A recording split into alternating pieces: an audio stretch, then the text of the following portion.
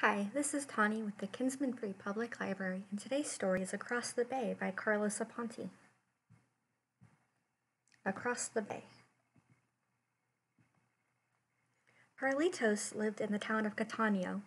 Across the bay from the capital, mango, avocado, and banana trees grew in every yard. These were the pride of the people. Most of the families in Carlitos' town looked the same. His family didn't look like the others. Carlitos lived in a colorful house with his mother Carmen, his abuela, and Coco, the cat. Fresh, fresh azucenas filled every room. These were abuela's favorite flowers. Carlitos loved the town of Catania, but he did not like the barber shop. Buenos dias, Doña Carmen, said the Francisco, the barber. Buenos dias, Francisco, said Carlitos' mother. Just the trim for my handsome little man. Carlitos blushed. And if you finish first, said Carmen to her son, I'll be across the street at the beauty salon. Carmen paid the barber, blew her son a kiss, and left the barber shop. Carlitos took his seat and waited his turn next to his father's and son's. After his haircut, Carmen returned to drive Carlitos home. The little boy stared out the window at the Capitol. Mommy, where is Pappy? Carlitos asked. Do you think he'll ever come home?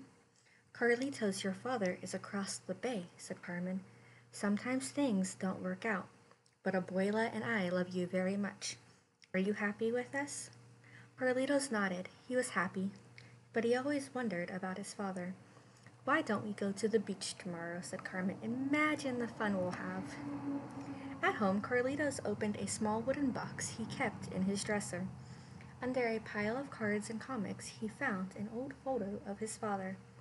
I'll find you, Poppy, the little boy said, tucking the photo into his pocket. Next, he grabbed some money Abuela had slipped under her pillow. He tiptoed quietly out the front door and straight to the ferry terminal. Carlitos bought a ticket and sat by the window. So far, so good, he thought.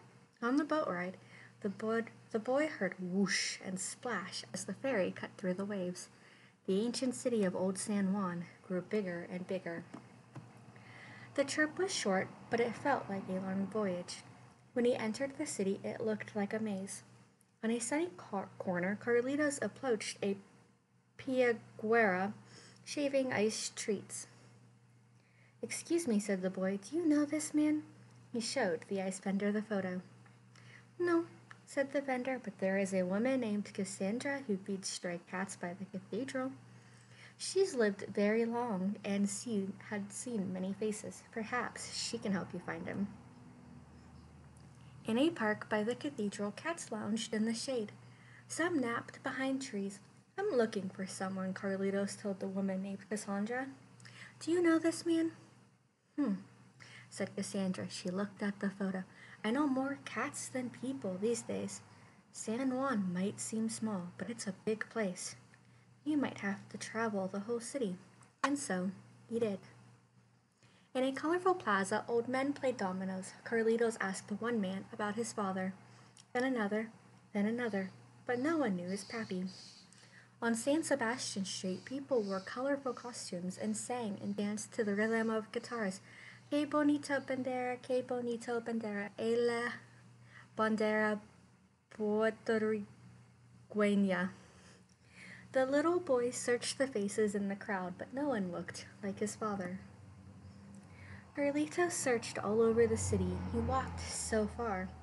He reached the edge of Old San Juan. The castle El Moro, Morro stood at the top of a hill overlooking the bay. The only place left to look is that castle, Carlito said.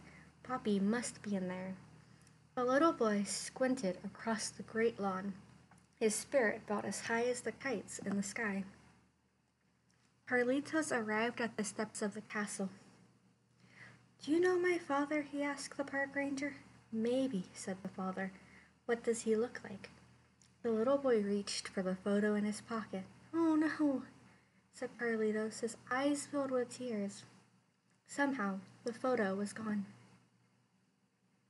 Clouds darkened the sky. Rain poured down in buckets.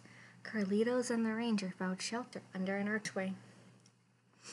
Why are you crying? the ranger asked Carlitos. I lost a photo of my father, said the boy. Do you remember what he looks like? asked the ranger. Carlitos said yes. Then he will live forever in your memory. When sad things happen, the ranger said, I think of them like dark clouds. No matter the storm, the sun always returns. And just like that, the rain stopped. The sun came out, and everything looked shiny and new. Carlitos walked along the water and glanced at the town of Catania. He wondered what his mama, his abuelo, and Coco the cat were doing at that very moment. Next, the sun was beginning to set.